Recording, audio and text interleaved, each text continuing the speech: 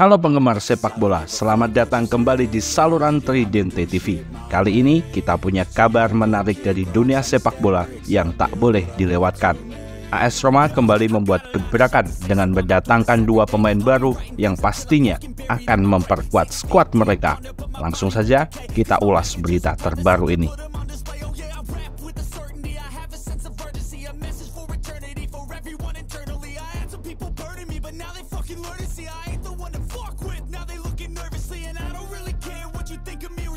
Roma dan Paris Saint-Germain telah mengumumkan kesepakatan akhir untuk transfer permanen gelandang tangguh Leandro Paredes. Kabar baiknya, ini adalah kembalinya Paredes ke Roma setelah enam tahun berpisah. Rupanya, PSG sangat bersemangat untuk mengurangi pengeluaran mereka dan sepakat menjual Paredes ke Roma dengan harga lebih terjangkau, kurang dari 5 juta euro termasuk bonus. Tidak hanya itu, sang gelandang juga setuju untuk mengurangi gaji dan menandatangani kontrak selama dua tahun dengan opsi tambahan satu musim.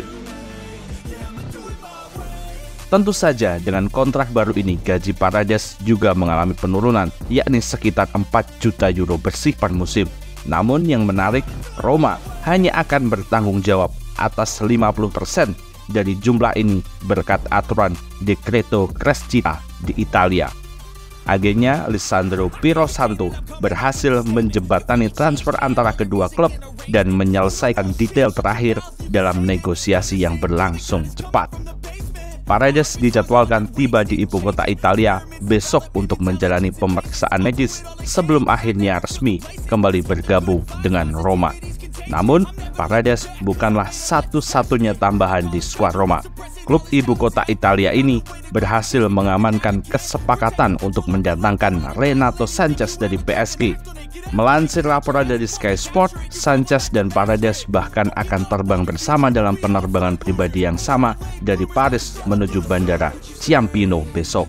Dua pemain ini akan mendarat sekitar tengah hari waktu setempat dan menjalani pemeriksaan medis bersama Roma sebelum akhirnya menandatangani kontrak masing-masing. Biaya pinjaman tetap yang harus dibayarkan Roma adalah 1 juta euro. Sementara itu, opsi pembelian akan mencapai 15 juta euro dan akan menjadi wajib jika gelandang Portugal ini tampil dalam 60% dari penampilan klub musim ini. Bukan hanya itu, Roma juga tidak berhenti dalam upaya mereka untuk mendapatkan penyerang Brazil, Marcos Leonardo. Klub ibu kota ini bersikeras untuk membuka kembali negosiasi baru. Negosiasi ini memang terbukti sulit karena Santos saat ini mengancaman degradasi dan beberapa anggota direksi akan digarikan hingga akhir tahun. Namun, Roma tetap berusaha untuk mencapai kesepakatan secepat mungkin. Itulah update terbaru tentang transfer menarik dari AS Roma. Bagaimana pendapat kalian?